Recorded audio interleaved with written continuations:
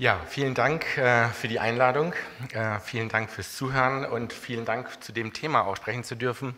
Ähm, ich bin in einer Phase mit meinem Team ähm, eher in der Anfangsphase und ich glaube, es ist ganz, ganz wichtig, dass äh, man, wenn man ein innovatives Produkt einbringen will in den Klinikalltag, gerade noch in einer universitären Einrichtung, dann ist es von großer Bedeutung, dass man auch psychologisch, auch edukativ die äh, Personen, die mit dieser neuen äh, Methode, mit dieser Innovation, mit diesem neuen Produkt auch in Verbindung gebracht werden, damit man dann auch diese Innovation tatsächlich in den Klinikalltag implementieren kann.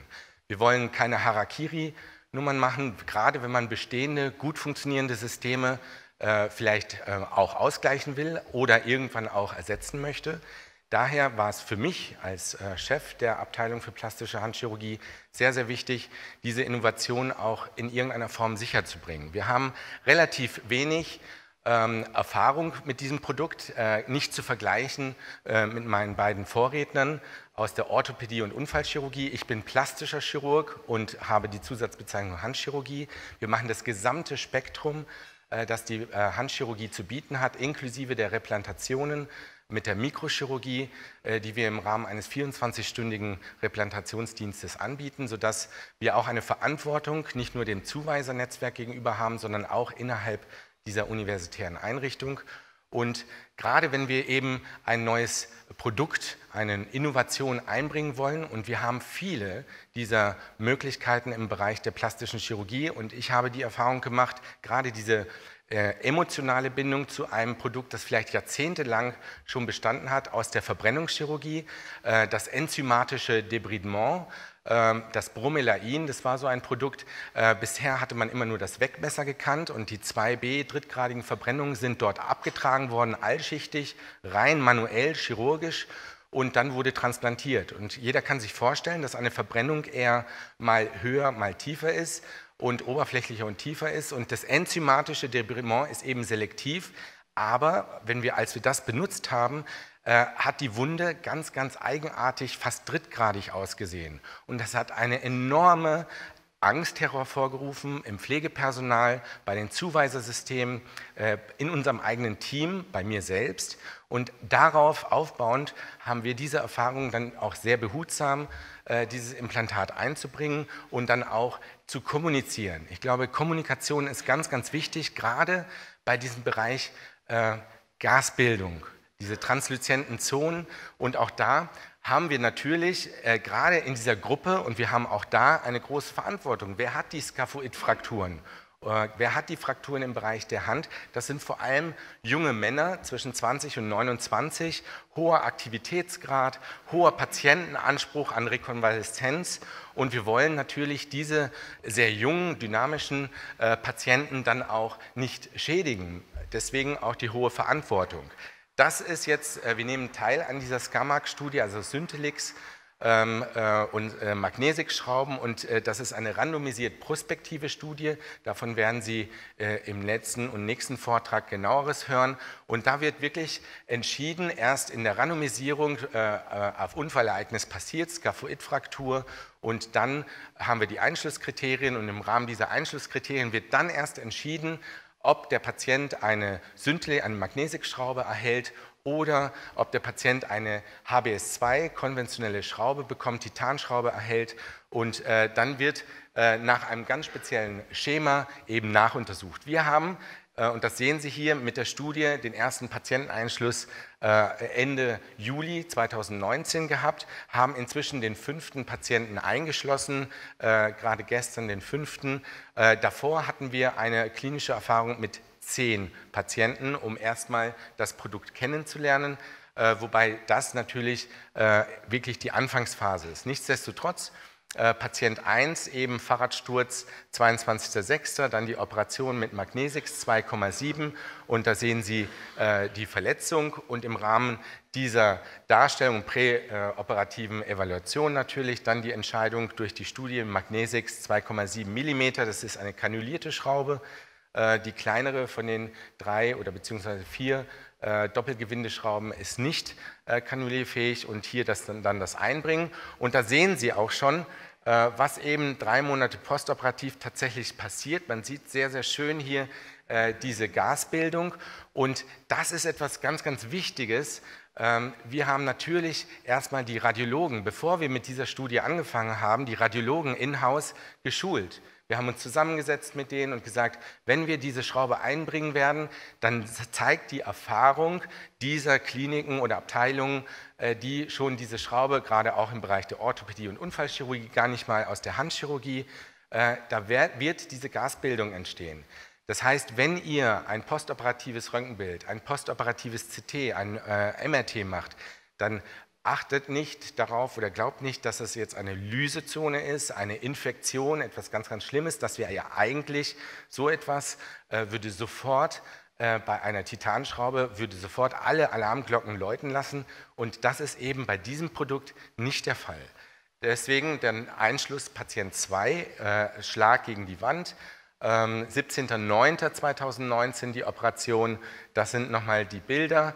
Äh, der Fraktur. Und das ist die eingebrachte Schraube am OP-Tag und das ist das Bild äh, vier Wochen postoperativ. Und auch da sehen Sie, ähm, dass man nicht unruhig werden sollte. Und genau das haben wir dann auch gerade mit der Radiologie, wir haben diese Patienten auch nicht in die Niederlassung weitergegeben, sondern wir behalten diese Patienten erstmal tatsächlich in unserer Hochschulambulanz, äh, weil wir erstmal in dem Setting des universitären Bereichs äh, das verstehen wollen und auch dann dort diese klinischen Pathways haben und auch das Verständnis und die Education aller beteiligten Gruppen, Physiotherapie, Ergotherapie, alles, was damit zusammenhängt, äh, dass wir das verstehen, bevor wir dann natürlich an die Zuweisersysteme herantreten und denen das weiter erklären.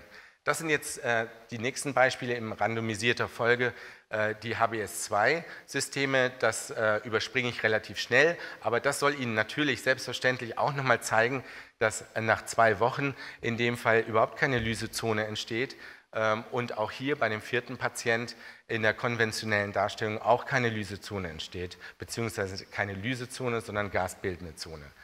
Ähm, die Diskussion bleibt trotzdem natürlich als eine Herausforderung, äh, das zu verstehen und auch dann zu erklären.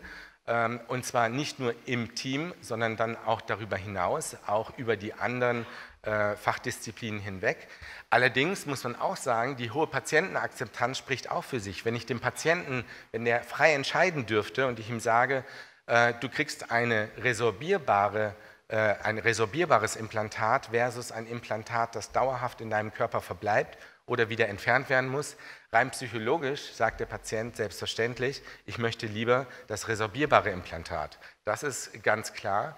Äh, dann die verbreitete äh, radiologische Unsicherheit, darauf habe ich jetzt schon mehrfach hingewiesen.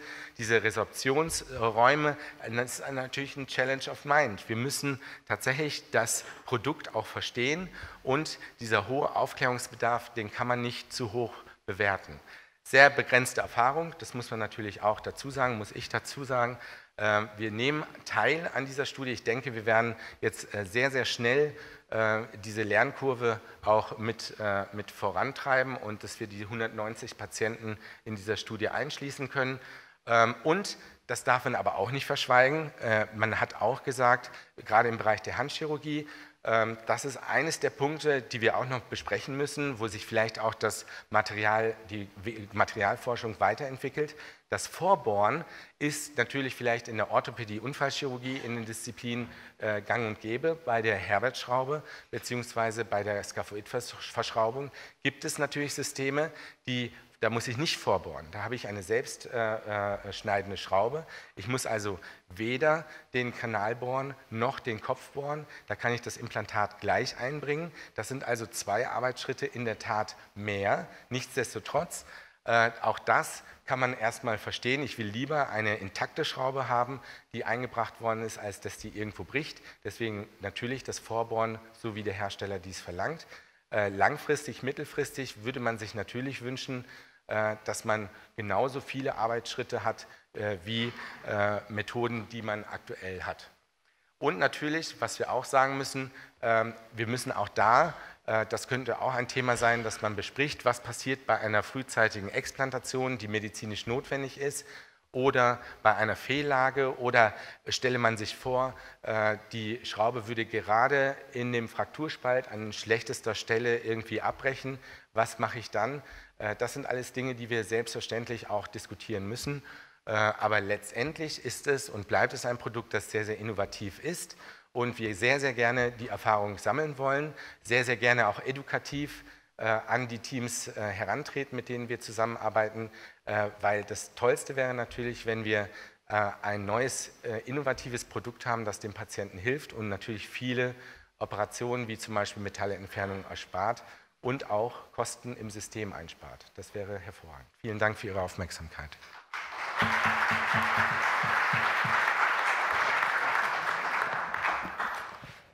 Herr Drago, herzlichen Dank. Äh, das war ein, würde ich sagen, sehr differenzierter und vor allen Dingen auch sehr einfühlsamer Vortrag. Ich glaube, Sie haben ein paar Dinge weg von auch der, der, der, eigentlichen Versorgung der Knochen adressiert. Das ging wieder mal um äh, auch das, das ist nochmal ein guter Einwand, den wir uns auch als Firma zu Herzen nehmen werden. Da sind wir gerade auf dem Wege, mal auch die Gruppe der Radiologen anzusprechen, damit das eine Klarstellung erfährt. Ähm, zum Zweiten der, haben Sie einen guten Aufschlag gemacht für ähm, äh, auch nochmal den Hinweis auf eine Publikation, die nicht äh, ganz vorteilhaft für unsere Firma gewesen ist, weil sie im Jahr 2014 in Handplastische und Mikrochirurgie erschienen ist.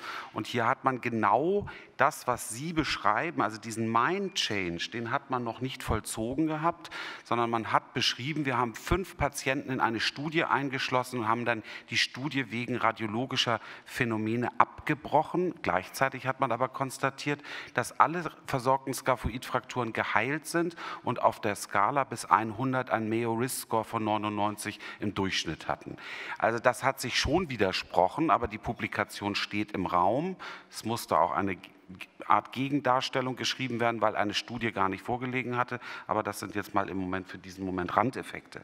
Und als letztes ähm, haben Sie technische Dinge angesprochen. Da kann ich sagen, ja, Sie haben, ich bin selber Chirurg gewesen, also ich weiß, dass das ein zusätzlicher Aufwand ist, wenn man bohren und äh, nochmal zweimal bohren muss und eine andere Schraube schneidet und bohrt selber.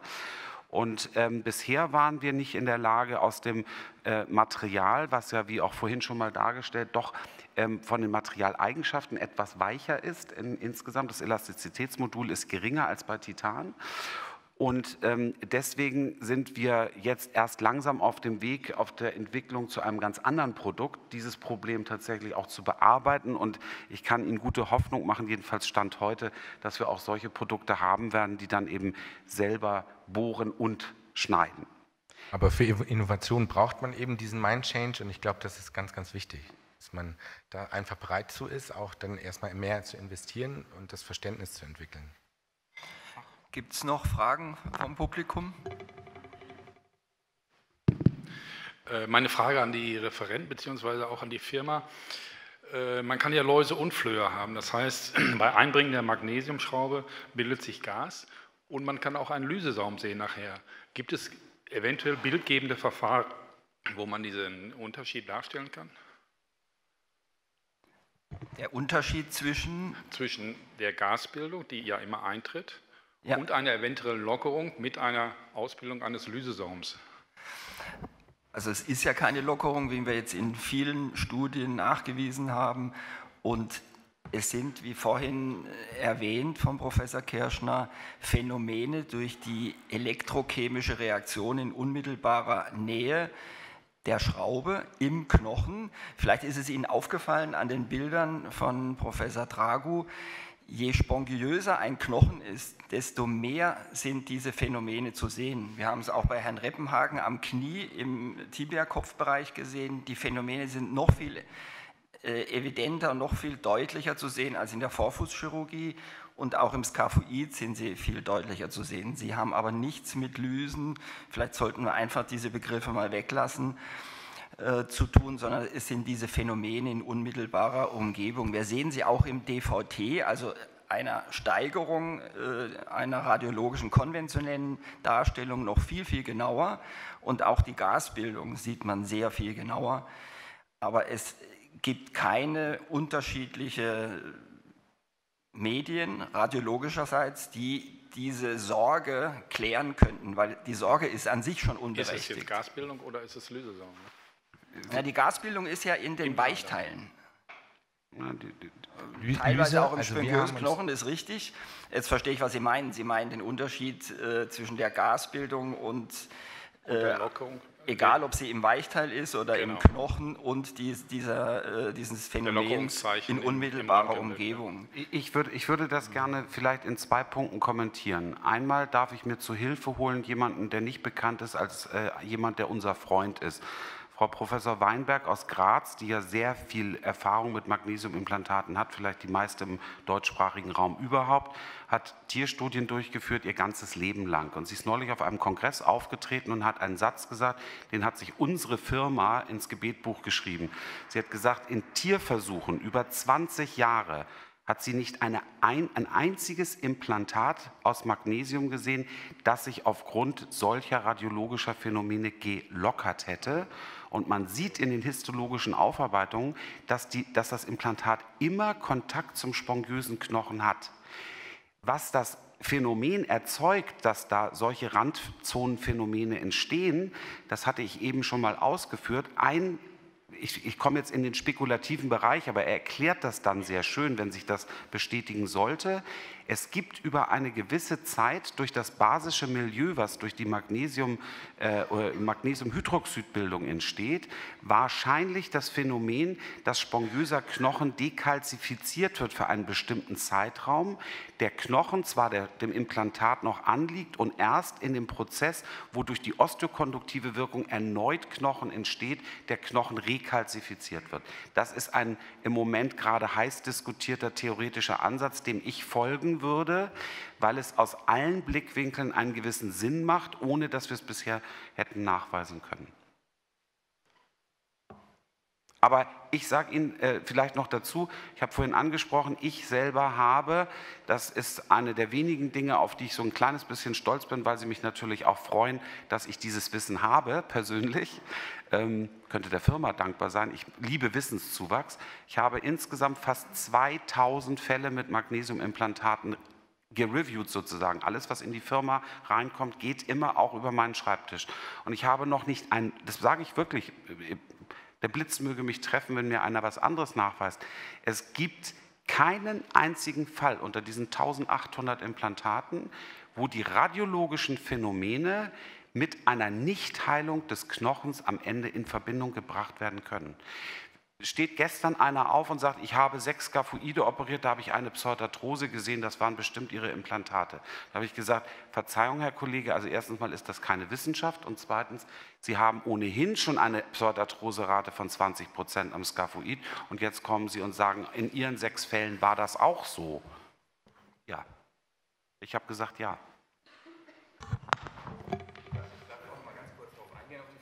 Gar nicht so schlecht.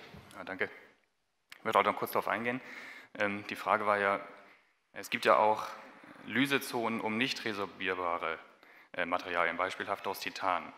Ähm, und der Unterschied aus meiner Erfahrung, es gibt keine 100% äh, Gewissheit, ist aber, dass die ähm, Gasbildung um die Magnesiumschrauben oder Radiosenszonen, wie auch immer man sie nennen mag, atypisch sind im Vergleich zu den typischen Lysezonen um ein Implantat die ja zirkulär herumlaufen. Und bei der Magnesiumschraube findet sich das immer nicht an der Corticalis, sondern im Bereich des spongiösen Knochens. Das als kleine Hilfestellung, wenn man so einen Fall beurteilen möchte. 100% Gewissheit ähm, kann man dann durch die normalen ähm, äh, Röntgenbilder natürlich ähm, dort nicht haben. Das, ein, ein, Vergleich dazu, deswegen ist die Radiologie sehr, sehr wichtig zu verstehen. Es gibt ja auch Radiologiebücher inzwischen, die äh, Gewebetransplantate aus der plastischen Chirurgie, wie verhält sich ein freier Latissimus dorsilappen im kleinen Becken nach äh, Rektumextirpation und Exenteration. Wie sieht das kleine Becken denn neu, nun aus? Das ist auch komplettes Umlernen. Da gibt es ganze Atlanten inzwischen, die zeigen, wie die neue Radiologie aussieht und ich finde, genau in dem Punkt müssen wir auch verstehen, wie die neue Radiologie aussieht bei der Verwendung solcher Implantate.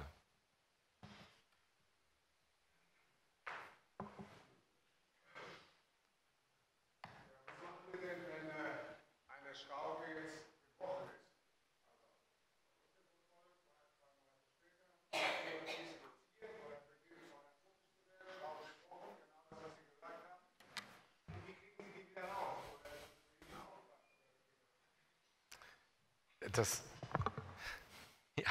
Also vielleicht darf ich zur Hilfe springen, weil ich ein paar Bilder schon gesehen habe von Patienten, die gebrochene Implantate hatten.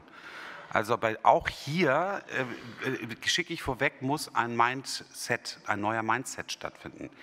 Sie müssen unterscheiden bei diesen resorbierbaren Implantaten zwischen den Patienten, bei denen die Schrauben brechen, nachdem die Fraktur geheilt ist oder im Heilungsprozess.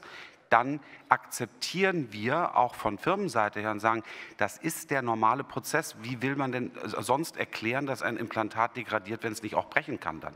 Es wird dünn. Ja, es wird immer dünner und irgendwann sind die Restkräfte, die wirken da. Wir wissen das, Mikrobewegung im Frakturspalt und dann bricht das Implantat, aber die Fraktur ist geheilt. Und wenn Sie eine frühe, äh, ein, ein frühes Brechen des Implantates hätten, das passiert tatsächlich dann, ich hatte eingangs gesagt, und ich bitte das nicht als Arroganz zu werten, sondern als ein Augenzwinkern.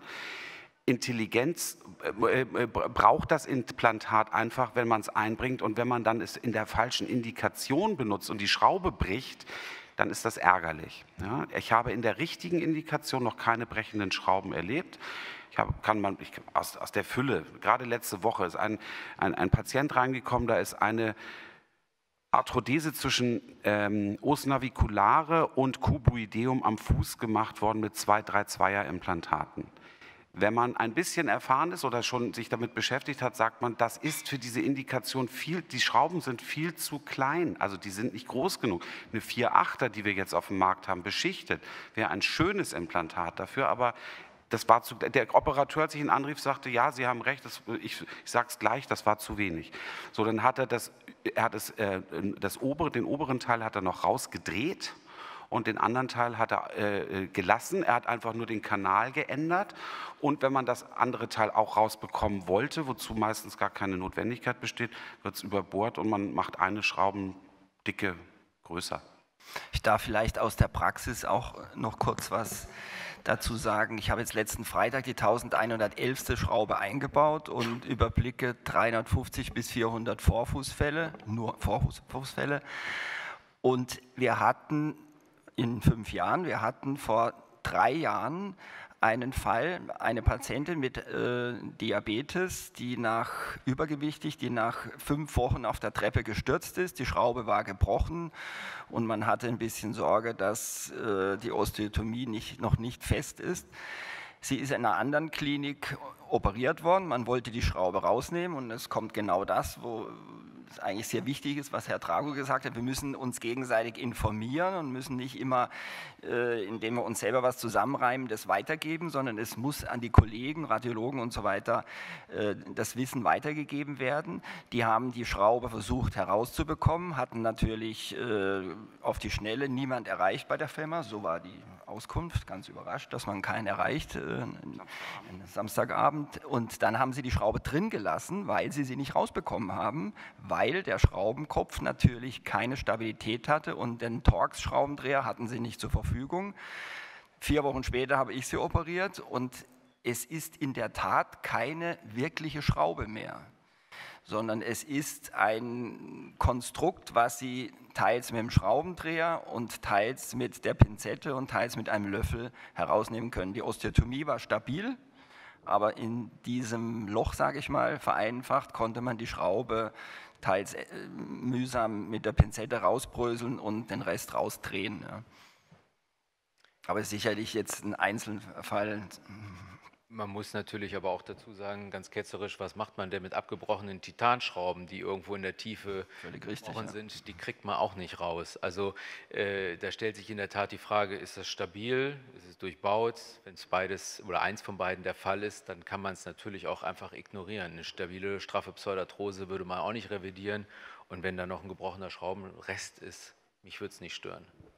Dieses Problem, dass man sie nicht rausbekommt, ist ja später ein riesengroßer Vorteil. Angenommen, Sie haben im Vorfußbereich eine tolle Umstellungsosteotomie gemacht, der Patient entwickelt, was ja nicht selten vorkommt, eine Arthrose im Großzehengrundgelenk. Sie müssen zwei Jahre äh, später nochmal operieren, entscheiden sich dann doch für eine Arthrodese, dann können Sie durch, diese vermeidlich, durch dieses vermeidliche Schraubengebilde, was radiologisch noch nachweisbar ist und etwas Metall darstellt, können Sie direkt durchbohren und es passiert überhaupt nichts und Sie können Ihr neues Implantat wunderbar stabil da verankern. Herr Drago, herzlichen Dank.